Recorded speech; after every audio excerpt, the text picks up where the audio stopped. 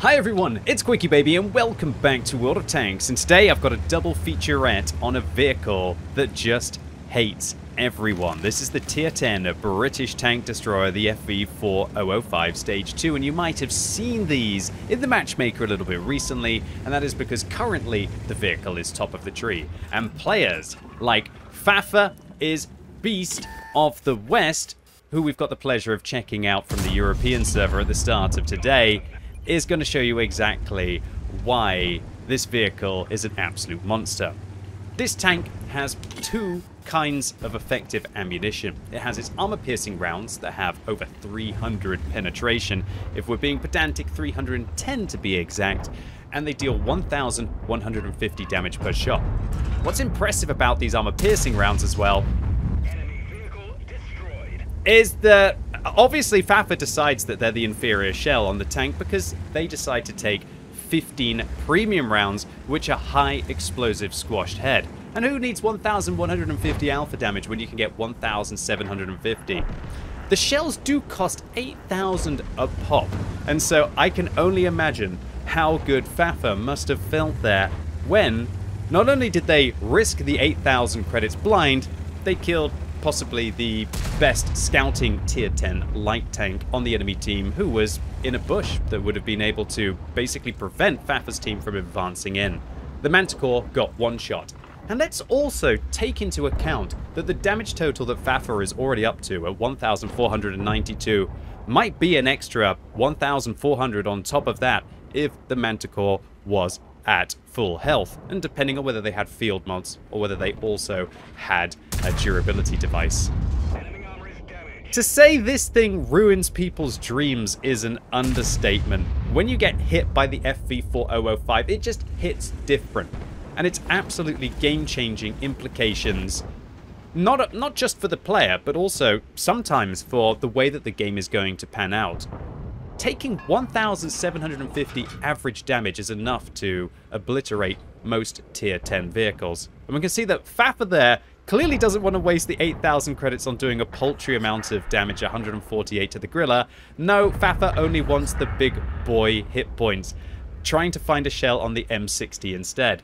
I guess when you're trying to go for damage, and even if you want to try and break even with spending 8,000 credits a, a, shot, you're really not going to achieve that by doing 180 damage to finish off a Grille, but you are if you manage to hit the FV4 430U.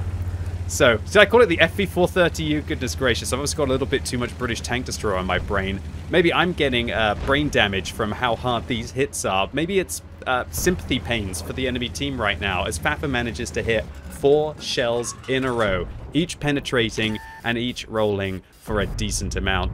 Fafa waits there, it looks like, for the Leopard, but oh my word, a little bit of a flinch there. I guess the greed is real with that shot trying to maybe shoot in between the M60 and the Leopard, actually. Maybe trying to double down that at least one of them is going to take the hit.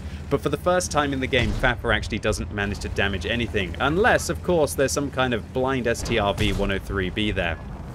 This vehicle is capable of just outrageous things. And Fafa looks like his, he's just letting his minions finish off the kills, instead trying to turn attention to those big old juicy one-shots.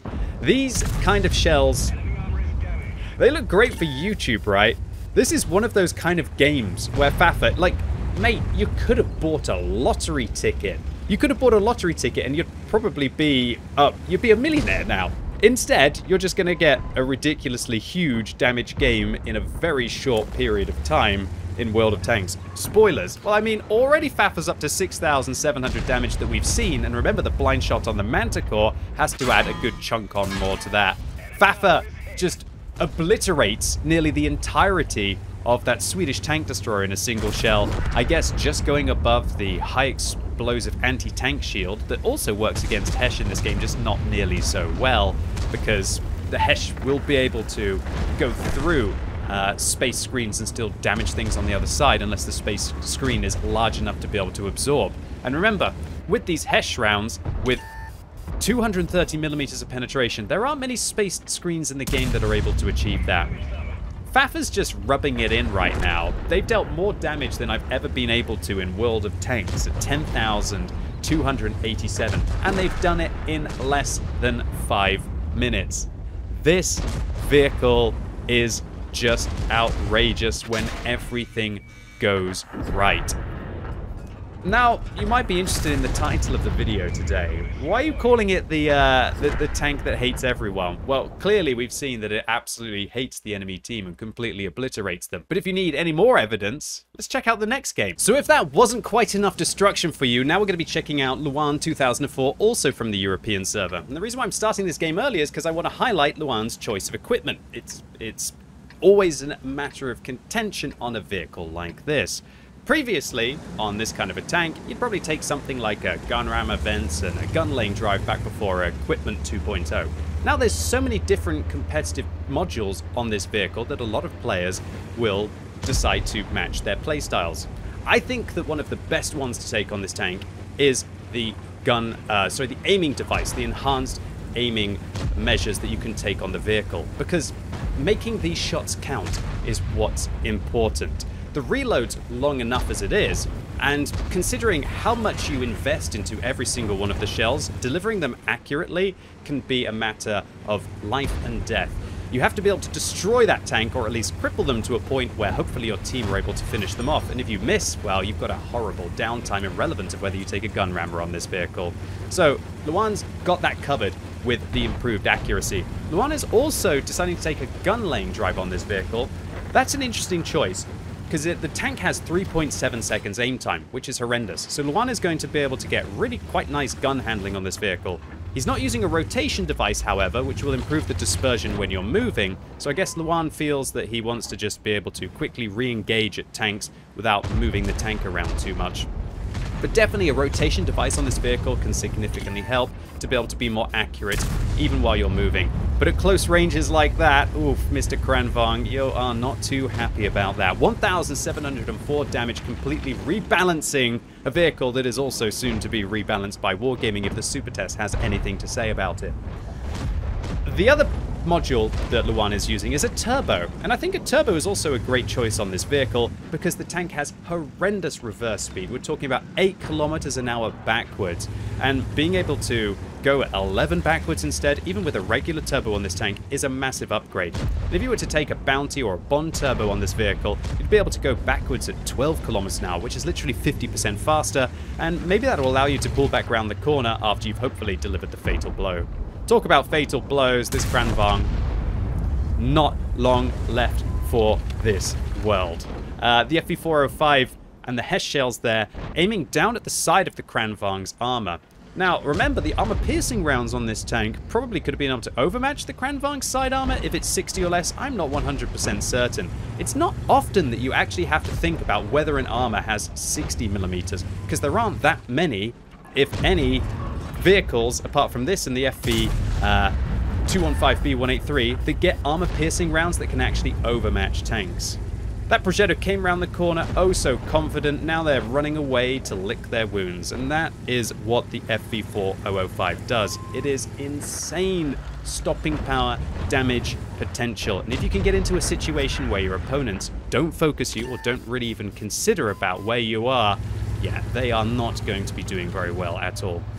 So this Progetto, again, seems to be focused on the Leopard towards the west. You'd kind of forgive him in thinking, but it looks like Luan actually managed to spot that Progetto and get them shut down. And now, using the very flexible 10 degrees of gun depression that this vehicle has, Luan's going to try and get themselves into a position where they're going to be able to surprise anyone who comes around the corner. Why haven't we seen any super high rolls this video, right? 1,630. Have you noticed how both of our heroes in the uh, the video today haven't exactly been having any monster rolls for 1,800 or 1,900 or even 2,000 this vehicle can roll up. Well, what happens when one high alpha damage tank destroyer meets another high alpha damage tank destroyer? Well, it looks like that the uh, Foch 155 did actually get the slight better of the, of the engagement there. But I guess we'll call it a draw, as both tank destroyers are firmly crippled now, reduced to uh, 258 hit points in Luan's case, and down to uh, 188 in the Foch. Yeah, uh, live by the sword, die by the sword, I guess is a good terminology for when you're playing the FV4005. The Foch finishes off the Leopard, and Luan should realize now that the Foch won't have an extra round, but the uh, E50M on his team is able to deal with that. So he's thinking about coming around the corner here, worried about whether somebody's going to have a fire, but I think everyone's pretty much spotted now, so that should allow Luan to be able to get into position to hopefully be able to deliver a blow.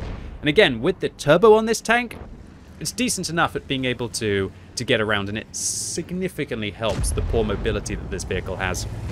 One thing that's also really crazy about this tank is it actually has a pretty good power to weight ratio. So having the turbo actually allows it to accelerate pretty much at about uh, 36 to 38, depending on what kind of a turbo you're taking, upslope. I've managed to actually get up onto the hill on Malinovka very, very quickly, much to the surprise of the opponents that were caught when they were up there.